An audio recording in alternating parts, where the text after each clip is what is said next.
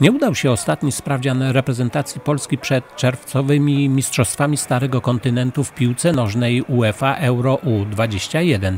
W Kielcach na stadionie przy ulicy Ściegiennego młodzieżówka uległa Czechom 1-2. Strzelcami bramek dla Czechów byli Wacław Czerny w 50 i Alesz Czermak w 90 minucie.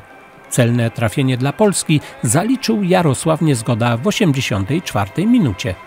Ponad 6300 widzów zasiadło na Kolporter Arenie, by kibicować biało-czerwonym w towarzyskim spotkaniu z drużyną Czech.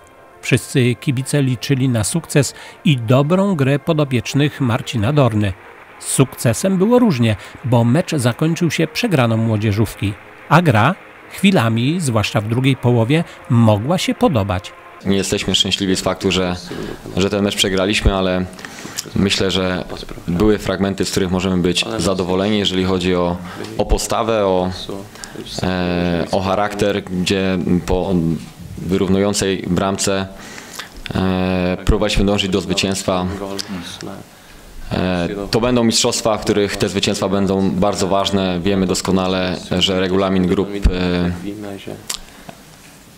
mówi o tym, że trzeba mecze wygrywać, żeby z tych grup wychodzić, stąd taka próba podjęcia jeszcze rywalizacji co do osiągnięcia sukcesu w tym meczu skończyła się kontrą i bramką przeciwnika. Trener gości Witesław Lawiczka na pomeczowej konferencji komplementował grę gospodarzy i wielokrotnie wspominał, że wygrać z Polakami nie było łatwo. Ale moc dobře jsme věděli už před zápasem, že domácí mají velmi eh, houževnatý a kvalitní tým a že to utkání určitě nebudou chtít prohrát. Ale wiedzieliśmy już przed spotkaniem, że e, gospodarze mają bardzo dynamiczny i e, chętny do gry zespół i na pewno nie będą chcieli przegrać. A paradoxem je, že jsme eh, tu vyrovnávací branku inkasovali eh, v době, kdy domácí tým byl v deseti hráčích a my jsme tam špatně vyřešili jednu eh, situaci před naší šestnáctkou. Paradoksalnie do wyrównania doszło w sytuacji, kiedy zespół gospodarzy grał w dziesiątkę, a u nas niestety doszło do pewnego błędu taktycznego, który spowodował przed naszym polem karnym, który spowodował utratę tej bramki. Pak musím ocenit domácí tým za to, že, že se ještě snažil ten, to utkání eh, po té vyrovnávací brance eh, vyhrát a zatlačil nás do defenzivy. Doceniam również zespół gospodarzy, który po zdobyciu wyrównującego gola e, za, zaczął na nas naciskać i z, e, zmusił nas do głębokiej defensywy. Zdaniem kapitana drużyny, mimo identycznego wyniku, mecz z Czechami był inny niż ten, rozegrany kilka dni wcześniej w Krakowie. Myślę, że jednak to był inny mecz, mimo że wynik taki sam. E, Myślę, że Włosi e, postawili nam poprzeczkę wyżej niż Czesi, ale e, znowu musimy uznać wyższość rywala.